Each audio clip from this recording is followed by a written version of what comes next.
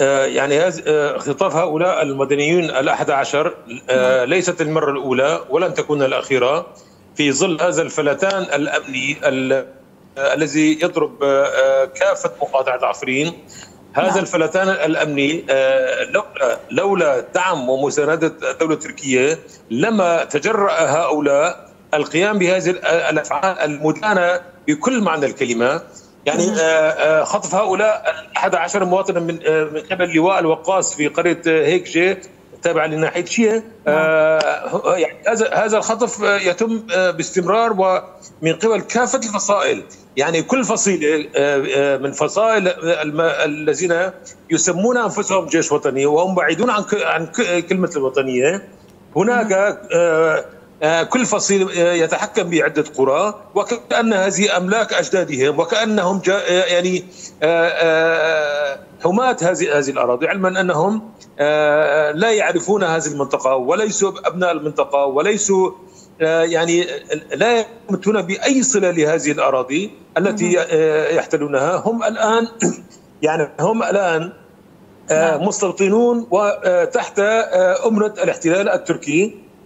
طبعا القصد أو السبب في هذه الاعتقالات إن كان هؤلاء الأحد عشر أو غيرهم هو الحصول على المال الحصول على الفداء النقدية بأي طريقة كان. يعني هم هم يعتبرون بأن هذه الأراضي هي ملك لهم. يعتبرون أن أن أموال الكرد في عفرين حلال عليهم. نعم.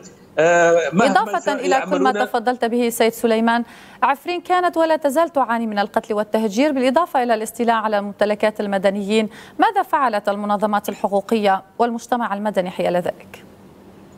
يعني مع احترامي لكافة المنظمات الدولية حتى الآن آه لم تلتفت أي دولة أو لم آه يعني لم تقوم أي دولة بالضغط على على تركيا بشكل رئيسي لأن تركيا هي هي المسؤولة المباشرة عن كل ما يجري في عفرين باعتبارها دولة احتلال نعم. فقط هناك يعني أعطي مثالا فقط هناك يعني منظمة منظمة دينية أمريكية زارت شرق الفرات وأرسلنا إليها عدة رسائل بالأدلة والصور ما يجري في عفرين وتدمير المزارات الإيزيدية بشكل خاص. تلك المنظمة تلك المنظمة انتقدت تركيا وعندما انتقدت تركيا على الفور أرسلت تركيا بعض الجماعات بأن يعيدوا ترميم أحد مزارات الإيزيديين وبعد ذلك بأسبوع أرسل أرسلت تركيا رئيس ما يسمى الائتلاف نصر حريري يعني أنا أنا شخصيا عندها قلت رأيي بأن زيارة الحريري لتلك القرية الإيزيدية ليست إلا التأكيد على أن التغيير الديمغرافي الذي خططوا له يسير على على ما يرام. نعم. ولي لم يكن ليس ليس كرمه لعيون سكان القرية لا.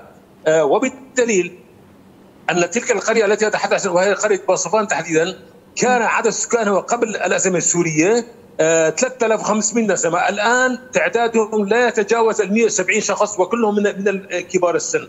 اذا الآن هذه هذا التغيير الديمغرافي الذي يجري على قدم وساق وبدون أي يعني التفات إلى إلى إلى الإنسانية أو إلى القرارات الدولية يجري كل ذلك تحت حراب الدولة التركية. نعم من الشباب سليمان جعفر رئيس المجلس التشريعي في إقليم عفرين، شكرا لك على كل هذه الإيضاحات.